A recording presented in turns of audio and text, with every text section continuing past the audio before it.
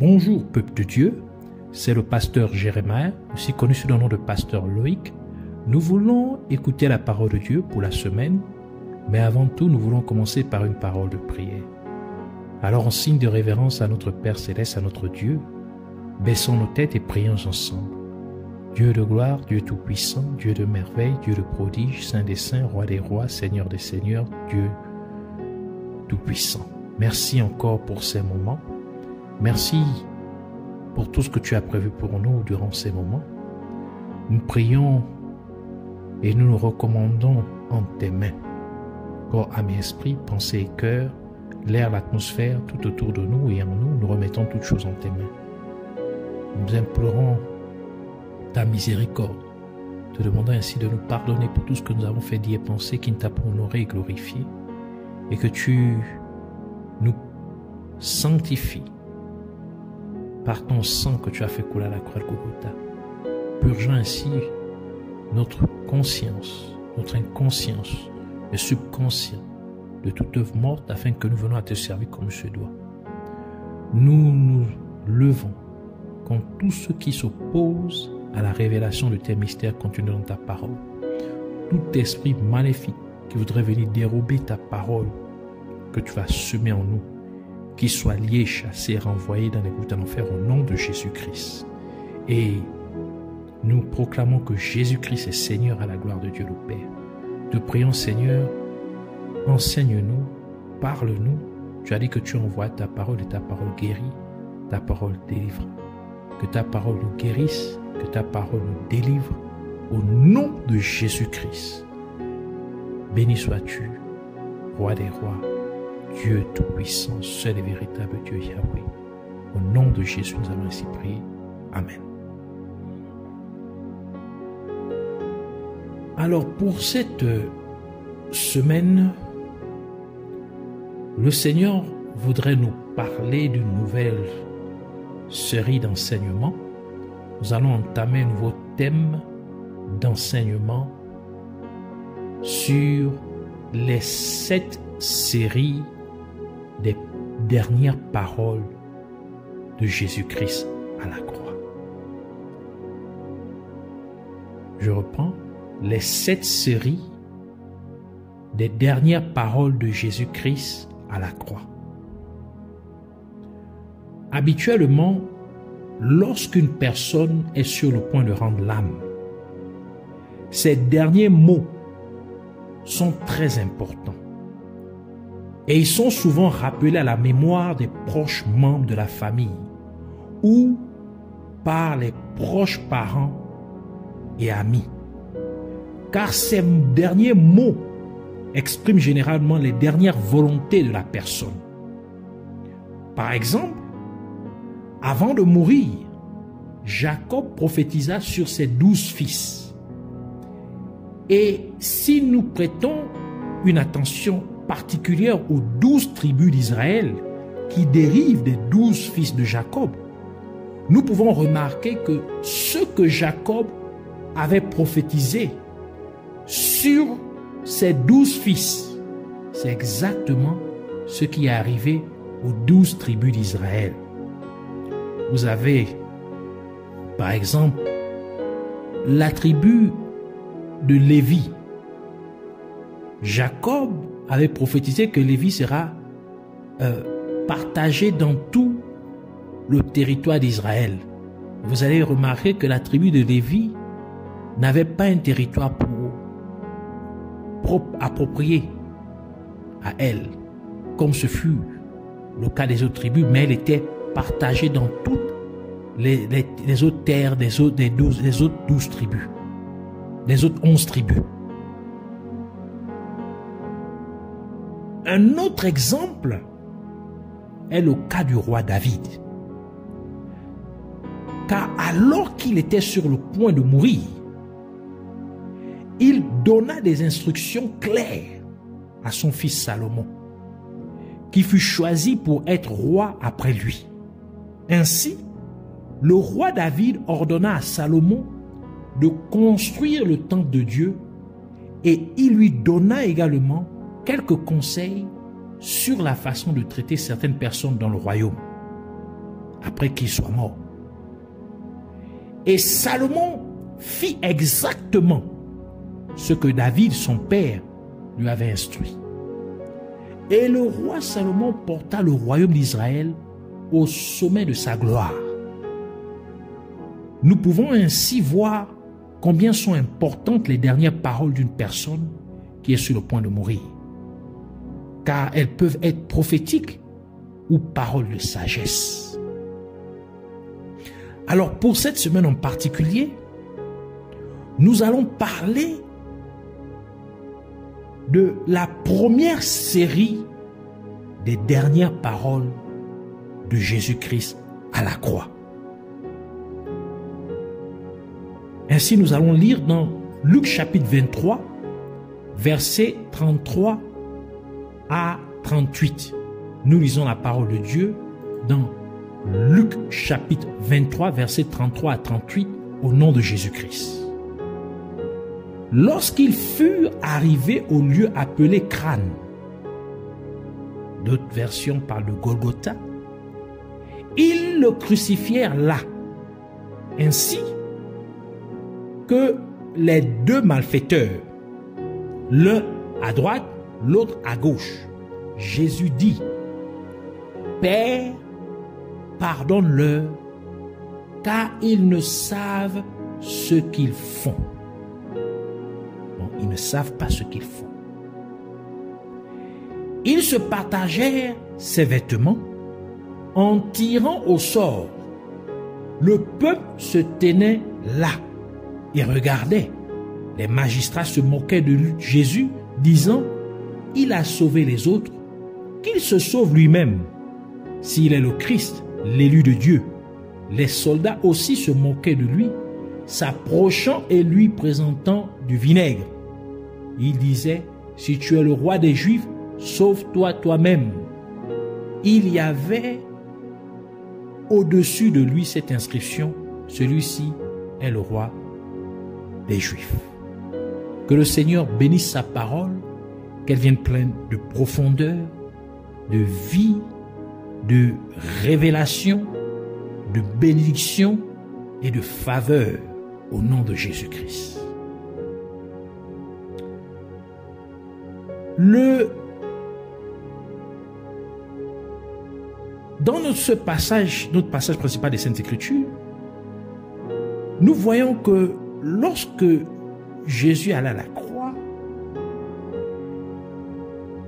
les soldats romains prirent les vêtements de Jésus et ils se partagèrent les vêtements de Jésus entre eux. Le livre de Jean donne plus de détails sur la façon dont ils séparèrent les vêtements de Jésus-Christ. Donc, de manière à laquelle ils se partagèrent les vêtements de Jésus-Christ. Jean chapitre 19, verset 23 à 24 dit, les soldats, avoir crucifié Jésus, prirent ses vêtements et ils en firent quatre parts, une part pour chaque soldat. Ils prirent aussi sa tunique qui était sans couture, d'un seul tissu depuis le haut jusqu'en bas. Et ils dirent entre eux, ne la déchirons pas, mais tirons au sort à qui elle sera. Cela arriva afin que s'accomplisse cette parole de l'Écriture. Ils se sont partagés mes vêtements et ils ont tiré au sort ma tunique. Voilà ce que firent les soldats. Cela avait en effet été prophétisé par le roi David dans le livre Psaume. Psaume chapitre 22 verset 18 dit, Ils se partagèrent mes vêtements, ils tirent au sort ma tunique. Et du fait que les soldats romains séparaient ou encore se partageaient les vêtements de Jésus-Christ en quatre parties. Ils prophétisaient sans le savoir que ce qui se passait réellement sur la croix était sur le point d'affecter les quatre coins de la terre. Car la terre a quatre points cardinaux.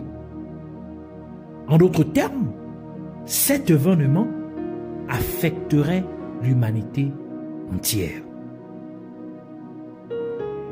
Et Dieu a explicitement mentionné que la nullité du sacrificateur ne doit pas être révélée au peuple ou vue par le peuple. Tel que le dit le livre d'Exode, Exode chapitre 20, verset 26, qui dit, Tu ne monteras point à mon hôtel par des degrés, donc en utilisant des marches, donc, ou encore des escaliers, afin que ta nudité ne soit pas découverte. Donc, c'est la loi donnée au sacrificateur. Noé maudit son fils Canaan pour avoir vu sa nudité. Tandis que Noé bénit Sem et Japheth parce qu'ils refusaient de voir la nudité de leur père, mais qu'ils préférèrent couvrir la nudité de leur père. Genèse chapitre 9 verset 20 à 27 qui dit Noé commença à cultiver la terre et planta de la vigne. Il but du vin, s'enivra et se découvrit au milieu de sa tente. Donc il était nu. Cham, père de Canaan, la nudité de son père et le rapporta dehors à ses deux frères. Alors Sem et Japheth prirent le manteau, le mirent sur leurs épaules, marchèrent à reculons et couvrirent la nudité de leur père. Comme leur visage était détourné, ils ne virent point la nudité de leur père.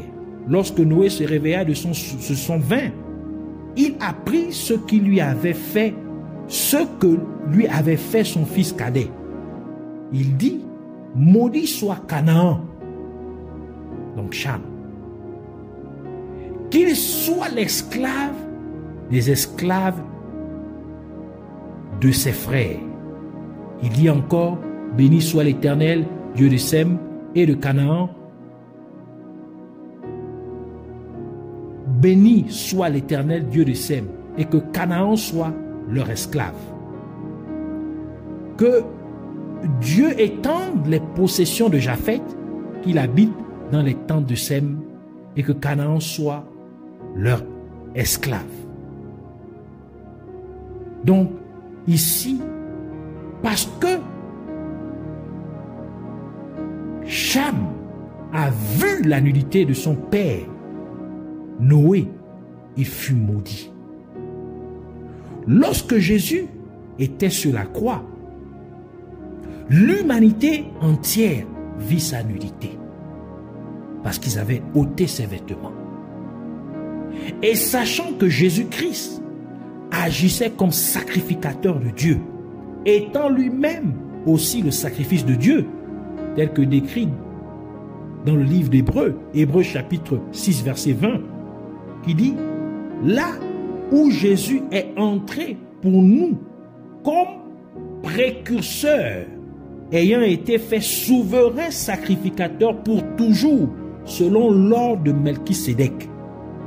Ainsi, l'humanité fut maudite pour avoir vu la nudité de Jésus-Christ.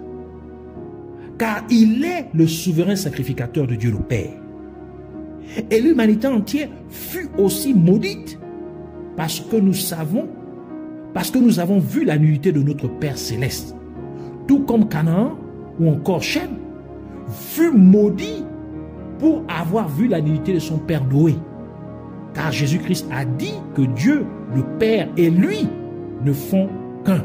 Jean chapitre 14, verset 9 à 11, Jésus lui dit, Il y a si longtemps que je suis avec vous, et tu ne m'as pas connu, Philippe.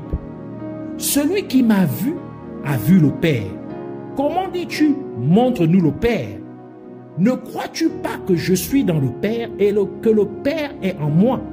Les paroles que je vous dis, je ne les dis pas de moi-même, mais le Père qui demeure en moi, c'est lui qui fait les œuvres. Croyez-moi, je suis dans le Père et le Père est en moi. Croyez du moins à cause de ses œuvres.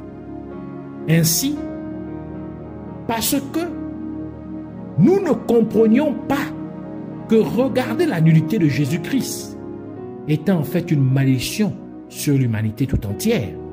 Jésus-Christ a dû ainsi déclarer sa première série de ses dernières paroles sur la croix en disant, Père, pardonne-leur, car ils ne savent pas ce qu'ils font. Par conséquent, parce que nous furent maudits pour avoir vu la nullité de Jésus-Christ, le souverain sacrificateur de Dieu, le Père, et aussi pour le fait qu'il est Dieu le Père, Jésus-Christ a donc dû enlever notre malédiction en se faisant malédiction, en étant crucifié sur la croix, comme décrit dans le livre de Galates, Galates chapitre 3, verset 13 à 14, qui dit, Christ nous a rachetés de la malédiction de la loi, étant devenu malédiction pour nous, car il est écrit, maudit est quiconque, maudit est quiconque est pendu au bois, afin que la malédiction d'Abraham eût pour les païens son accomplissement en Jésus-Christ, et que nous ressuscions par la foi l'Esprit qui avait été promis. Et nous pouvons nous rappeler que les soldats romains se partagèrent les vêtements de Jésus-Christ en quatre parties. Cela signifie que les soldats romains ont effectivement touché les vêtements de Jésus-Christ. Et nous savons que Jésus-Christ opérait comme souverain sacrificateur de Dieu. Et si une personne touchait les vêtements sacerdotaux du souverain sacrificateur, la personne serait automatiquement rendue sainte aux yeux de Dieu. Et c'est pourquoi Dieu a clairement ordonné au souverain sacrificateur d'enlever ses vêtements sacerdotaux avant de sortir du temple de Dieu afin qu'il ne sanctifie personne qui le toucherait. Ainsi, le souverain sacrificateur devrait ôter ses vêtements sacerdotaux et mettre ses vêtements normaux, comme indiqué dans le livre d'Ézéchiel, Ézéchiel chapitre 44, verset 19, qui dit, Lorsqu'ils sortiront pour aller dans le parvis extérieur, donc lorsque les souverains, les sacrificateurs devront sortir pour, du temple, dans le parvis extérieur, dans le parvis extérieur vers le peuple, ils ôteront les vêtements avec lesquels ils font le service, donc leurs, les vêtements sacerdotaux, et les déposeront dans les chambres sanctuaires. Ils en mettront d'autres, donc ils mettront leurs vêtements normaux, afin de ne pas sanctifier le peuple par leurs vêtements. C'est pourquoi quiconque touche les vêtements sacerdotaux du souverain sacrificateur est rendu saint aux yeux de Dieu. Et c'est l'une des principales raisons pour lesquelles la femme qui avait une perte de sang depuis 12 ans fut complètement guérie dès qu'elle toucha le vêtement de Jésus-Christ. Et elle fut guérie comme décrit dans le livre de Luc. Luc chapitre 8 versets 43 à 44 et 48 qui dit Or il y avait une femme atteinte perte d'une perte de sang depuis 12 ans et qui avait dépensé tout son bien pour les médecins sans qu'aucun ait pu la guérir. Elle s'approcha par derrière et toucha le bord du vêtement de Jésus. Au même instant, la perte de sang s'arrêta. Verset 48. Jésus lui dit, Ma fille, ta foi t'a sauvée, va en paix.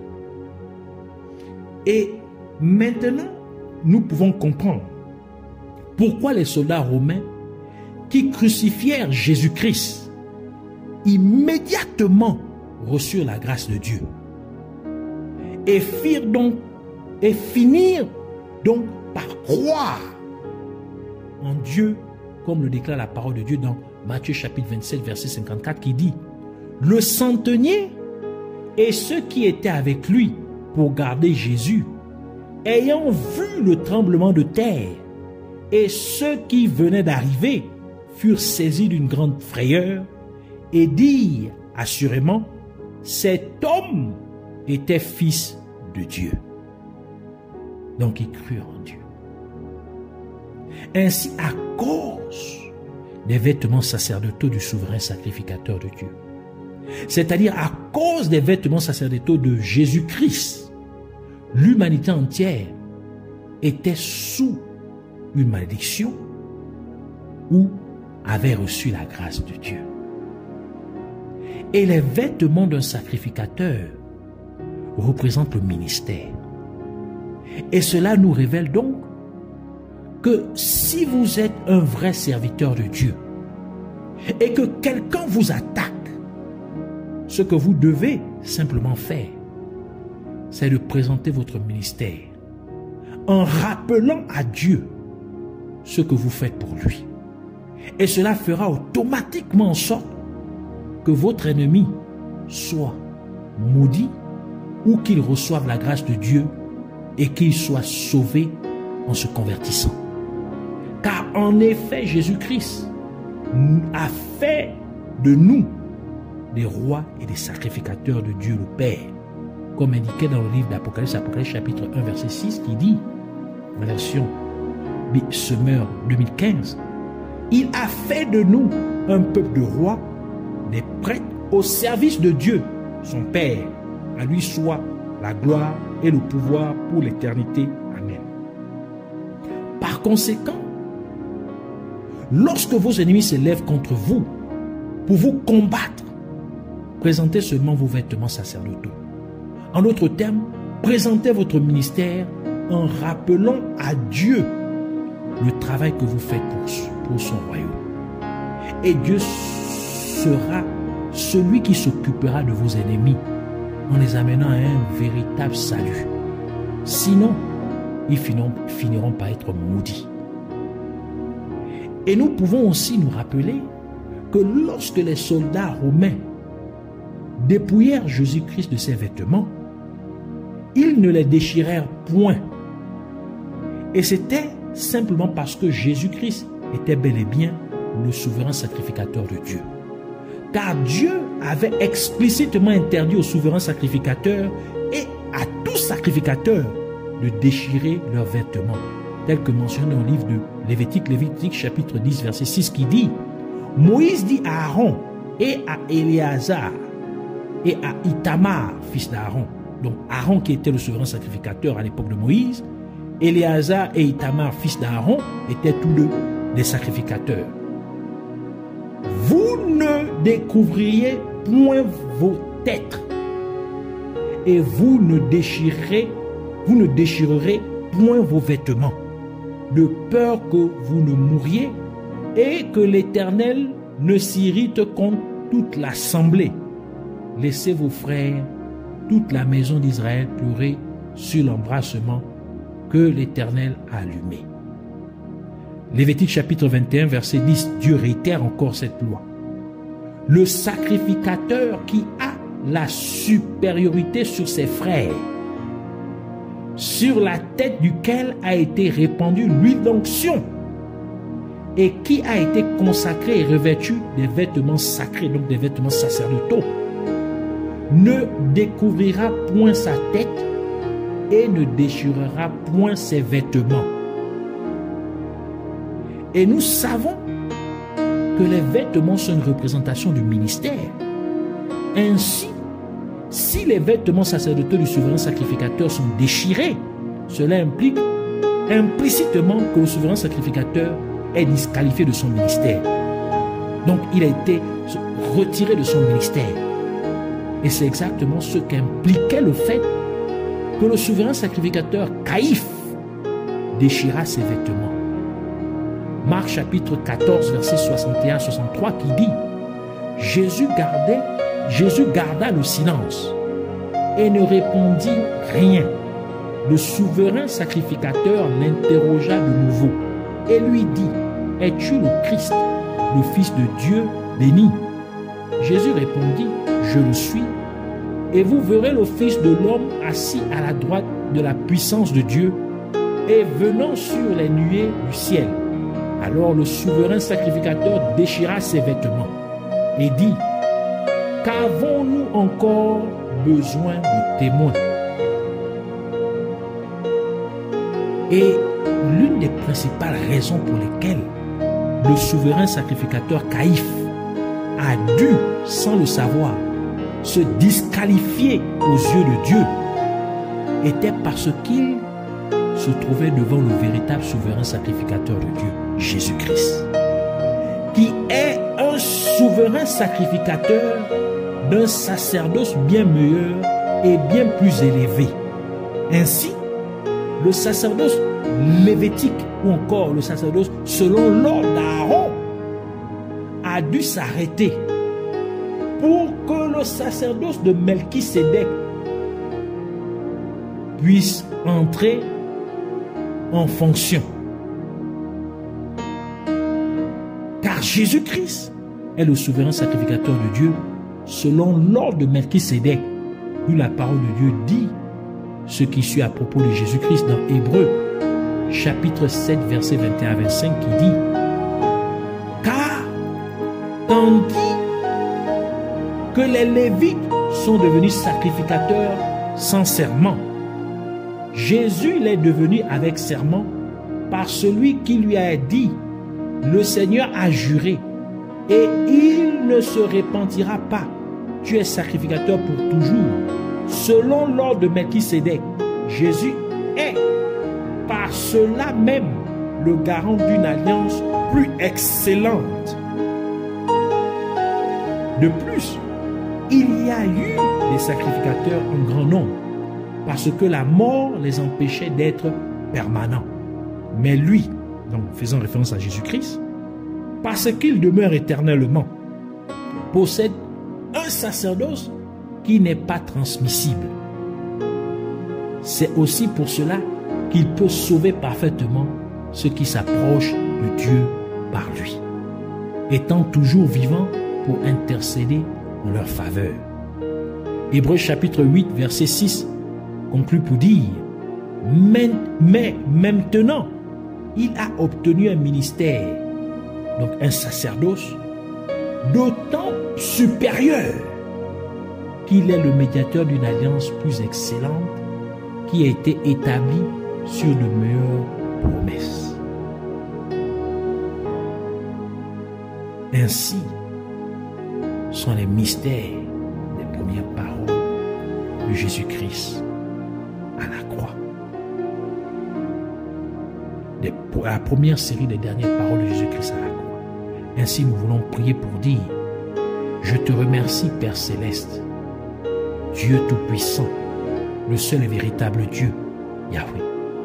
Merci pour cet enseignement concernant la première série des dernières paroles de Jésus-Christ sur la croix.